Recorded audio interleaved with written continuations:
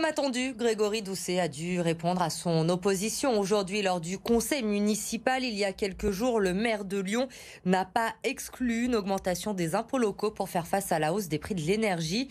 Même si rien n'est acté hein, pour le moment, l'hypothèse est sur la table.